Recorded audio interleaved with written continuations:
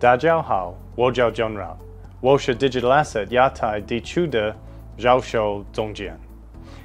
我们非常高兴和 BSN 合作。我们的公司成立于二零一四年，现在我们的员工遍布全球。我们的核心技术叫 Demo，一个创新的智能合约语言，可以运行在很多区块链。全球领先的十大交易所。物价已经是我们的客户。下面我的团队 Lomi、Casey 和 Max 会有更多介绍。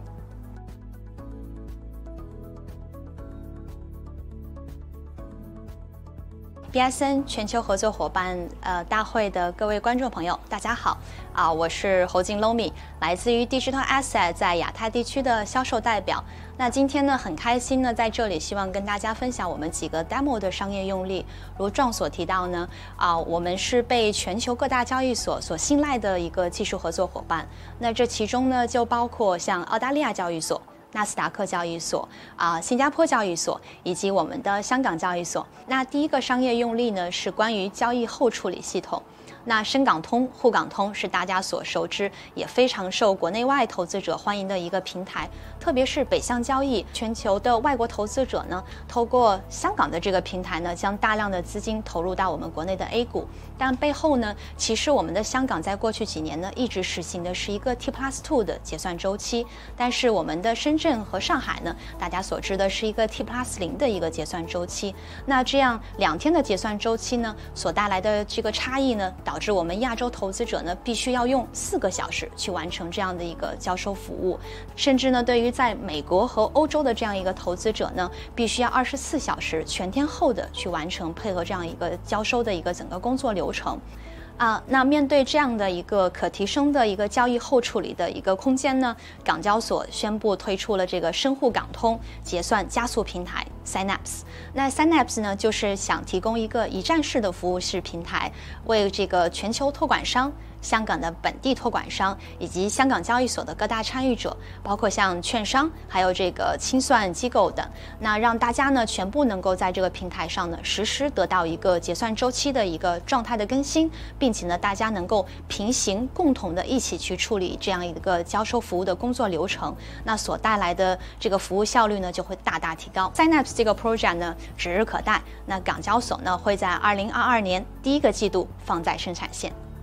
那第二个商业用例呢，想为大家来带来一个资产的货币化。我们也很开心的与大家分享呢，我们 Digital Asset 正在与国际清算银行、香港金管局合作呢，搭建一个绿色金融项目的软件原型。那这个项目的愿景呢，是想让你、我、他这样的个人投资者呢，更便利的来投资于安全的政府债券。并且呢，能够来实施最终的你自己的一个绿色贡献。这也就意味着呢，你投资的这个企业呢，它到底产生了多少清洁能源，减少了多少二氧化碳排放量？那这些呢，都能够实时的来在你的手机应用程序中看到。其实呢，这也跟我们国家在二零三零年碳顶峰。二零六零年碳综合的这个目标呢不谋而合。其实这些项目的背后呢，都是得益于像我们智能合约，它进行一个端对端自动化债券的发行、债券生命周期的管理、债券的清算以及提供相关的可视性。自从二零二零年跟 BSN 成为合作伙伴以来呢，我们就一直相信呢，啊 BSN 的愿景与我们 Digital Asset 呢非常一致，希望通过一个统一的语言。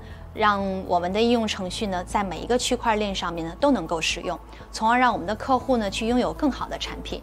那其中我想强调的呢是 Demo 开源的金融代码包，这样呢就能够让我们的用户呢使用我们的开源的金融代码包，能够让你拥有跟全球交易所以及各大投资银行一样的技术 Demo，并且去搭建你自己的一个多资产类型、丰富的资产生命周期、你自己商业需要的一个应用系统。那其实呢，我们 Demo 的开源金融代码包呢，也包括了像供应链、保险这样等等不同的一个商业的用例。那么，到底我们聪明的 Demo 帮助了不同的客户实现了商业价值？站在技术的角度，该如何去理解呢？接下来我交给我的同事 KC 谢谢。大家好，我是 KC Ten 谭家俊，亚太区的销售工程师。首先，让我谈一下在区块链应用开发的状况。今天，当我们开发区块链应用的时候，我们首先要做的是挑选区块链框架，然后使用选好的框架所提供的语言来编写智能合约。我们花了相当多的时间来挑选以及构建区块链框架，才开始编写智能合约。这方面，BSN 提供了一个很好的平台，整合了多个区块链的框架。我们只需要集中在智能合约的开发，框架的构建就由 BSN 来提供。沿着相同的方向，Digital Asset 再往前走一步。这里我们带来了 Demo，一种开源的、专门为智能合约而建立的语言。以 Demo 编写的智能合约。可以按实际的需要部署在不同的区块链框架上。Demo 这种语言是专门为商业世界的合约和行为而建立的。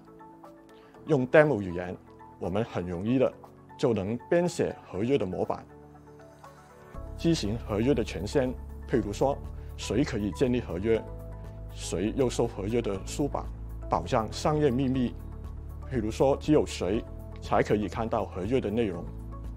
以及实现严谨的工作流程。如果你曾经用过一般语言像 Java 和 Go 等做类似的工作的话，你会理解当中的复杂性。以 Demo 来做就简单多了。以 Demo 编写的智能合约能部署在多个区块链的框架上，这是一种跨链的应用。我们知道 BSN 今天已经提供了一些框架的跨链服务。这样看来，Demo 可以说是提供了另外一种做法，以智能合约语言运行在不同的区块链框架上。除此以外，这些以 Demo 开发的应用，也可以透过智能合约进行互联互通。从 Demo 出发，我们正在构建一个更大的网络，连接世界上不同领域的商业的应用。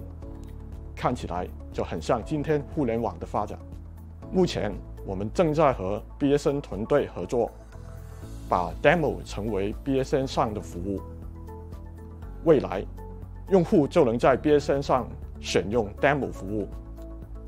用户只要指定底层的区块链框架，上传以 Demo 编好的智能合约，这样，一个以 Demo 开发的商业应用就成功的。部署在 BSN 上，我们热切期待这个服务的开通。